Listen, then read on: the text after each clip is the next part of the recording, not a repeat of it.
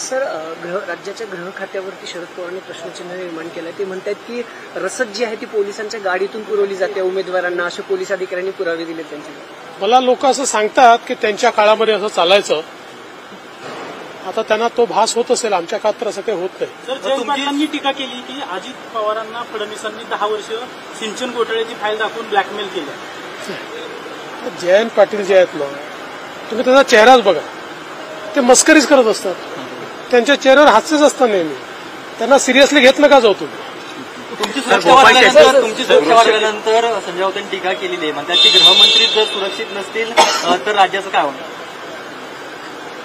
संजय राऊतांकडनं कोणाकोणाला सुरक्षा पाहिजे आता याच्याबद्दल बोलायला गोपाळ शेट्टींची भेट झाली. नाही आमची भेट झालेली आहे. मी त्यांना ही विनंती केलेली आहे. की पक्षाचे अतिशय वरिष्ठ नेते ते आहेत. पक्षशिस्त त्यांनी नेहमी पाळलेली आहे. पक्षाचाच विचार त्यांनी केला आहे त्यामुळे अशा परिस्थितीमध्ये त्यांची किती नाराजी असली तरी त्यांनी पक्षाचाच विचार करावा. पक्षाची जी काही लाईन आहे ती त्यांनी सोडू नये.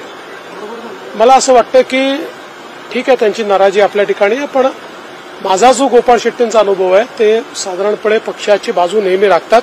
त्यामुळे पूर्ण अपेक्षा ठेवून आहेत की ते पक्षाच्या बाजूने निर्णय लढण्यावरती ठाम आहेत एकनाथ शिंदे असं अ, म्हणाले की.